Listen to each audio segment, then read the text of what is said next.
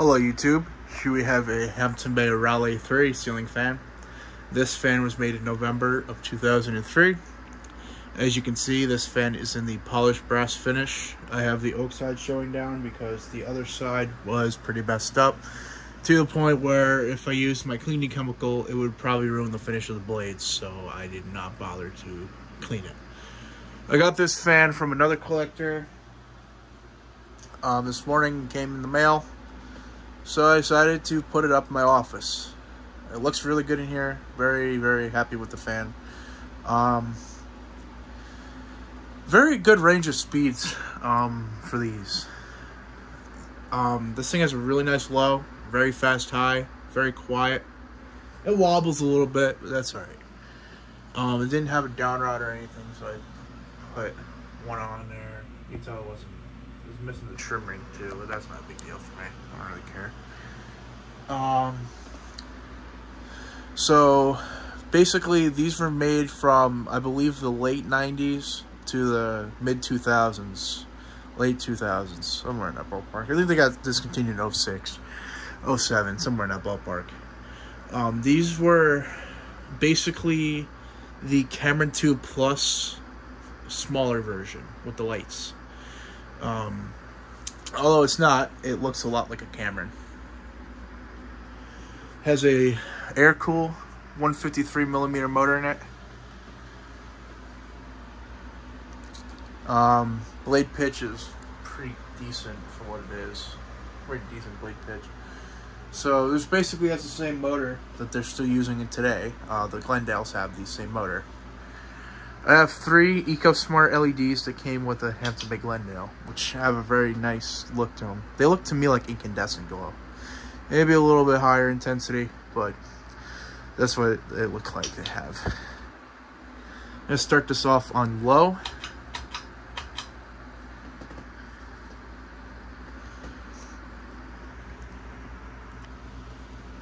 Uh, fan's in okay shape. It's got scratches all over it and whatnot. Uh, shipping didn't really do much help for it. Um, it's kind of bent up a little bit in some spots. That's that's fine. I don't really care too much. Um, it works. It's somewhat presentable. I don't really give a shit. Ball glass isn't original either. That's what it came with. Um, I'm assuming it either had these on there or none at all.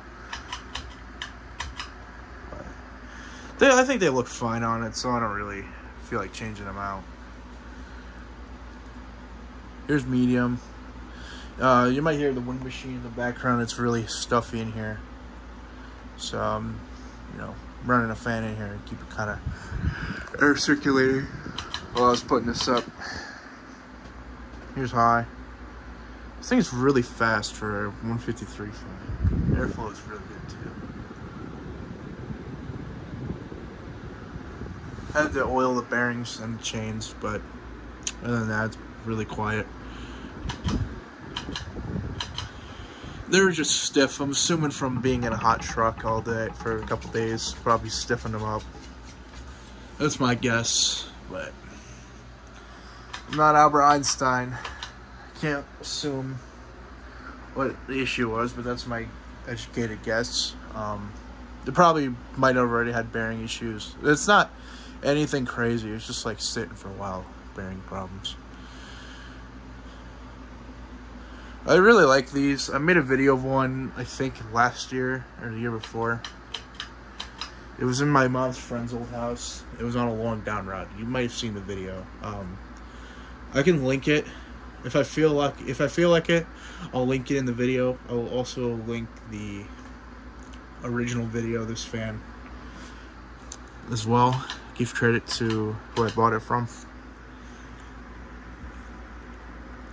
It wobbles worse on reverse than it does it forward.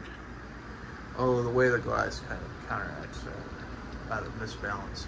I would try balancing it, but these are those kind of blade irons that if you go to bend them back, they're just going to snap, so I'm not even going to bother bending these back. They're not worth it, in my eyes at least. They're not really worth it and back. It's not to the point where it's an issue.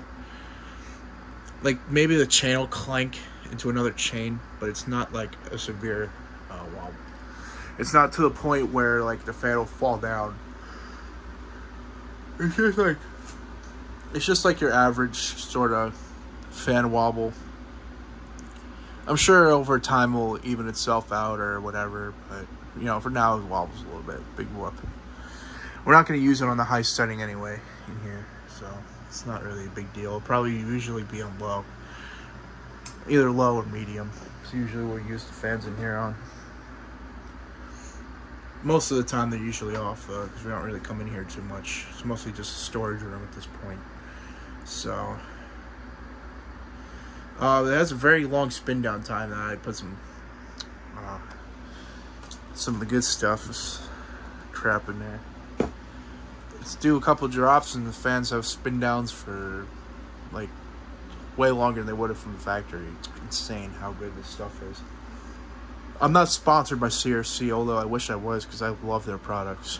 But no, just yeah, you know, highly recommend the oil. It looks better.